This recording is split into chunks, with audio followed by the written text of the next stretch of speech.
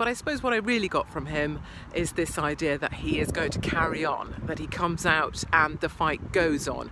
And he's clearly very motivated to get back out telling people's story on the streets of the UK. And I think that's a fantastic thing. And I think also one of the touching things uh, is so many of the staff that will quietly say to you uh, to keep going, that will quietly say that I'm only saying what the rest of other people think and uh, that Tommy does the same thing.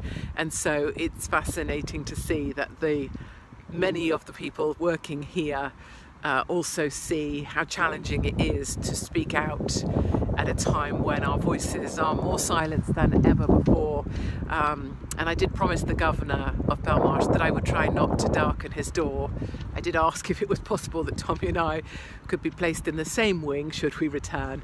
Um, but as one of his uh, staff members said to me, it's proving increasingly tough these days for people who want to speak the truth not to that's the uh, update from Tommy Robinson. He will be released over the weekend. He will not be released out of the normal exit gate. He will be collected from inside. His possessions will be loaded inside uh, and he will look forward to seeing you all very soon.